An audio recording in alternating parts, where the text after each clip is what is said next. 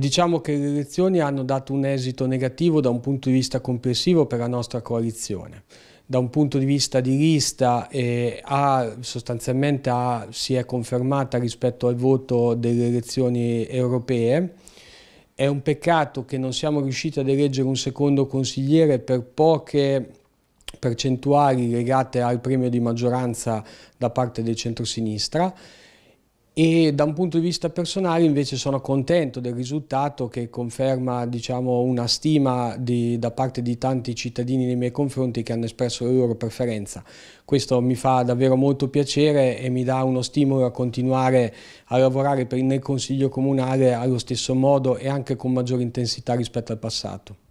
Anche perché nel suo caso si parla del quarto Consiglio Comunale, quindi 20 anni di politica amministrativa a Pesaro. Sì, il mio percorso inizia nel lontano 2004 quando sono stato eletto per la prima volta in consiglio di quartiere nella circoscrizione, allora si chiamavano così, e dal 2009 sono in consiglio comunale. Un'esperienza davvero significativa, molto bella,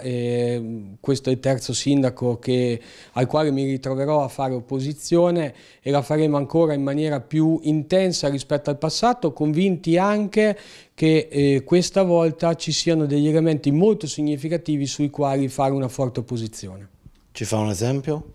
Ma noi riteniamo che questa coalizione sia stata costruita non su una base programmatica, ma su una spartizione fatta a priori da parte dei ruoli di potere una coalizione che si è impersonificata in assessori che togliendo il terzo mandato, ehm, il limite del terzo mandato, oggi continueranno a fare gli assessori creando dei veri e propri centri di potere davanti ai quali noi opporremo non solo un'opposizione da un punto di vista formale ma proprio anche un'impostazione di metodo perché riteniamo che sia un qualcosa di sbagliato ai fini della democrazia ai fini dell'interesse cittadino. Io voglio ringraziare Marco Lanzi per il grande lavoro che ha fatto, per l'entusiasmo che ci ha messo e per il fatto che è riuscito a catalizzare più del 35% dei voti dei cittadini pesaresi, che non è mai un fatto banale. La sconfitta è frutto anche probabilmente del ritardo con il quale abbiamo designato Marco come nostro candidato a sindaco, che ha avuto poco tempo per far conoscere le sue qualità umane e il suo progetto politico.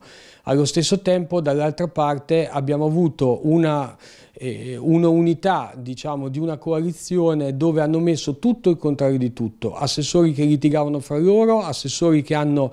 eh, una visione diversa da parte di alcuni problemi della città, di conseguenza era anche molto difficile scontrarsi e ora tutte queste difficoltà sono in capo al nuovo sindaco Andrea Biancani che si troverà una grande difficoltà a mettere insieme visioni diverse della città e unita solamente per una divisione di potere.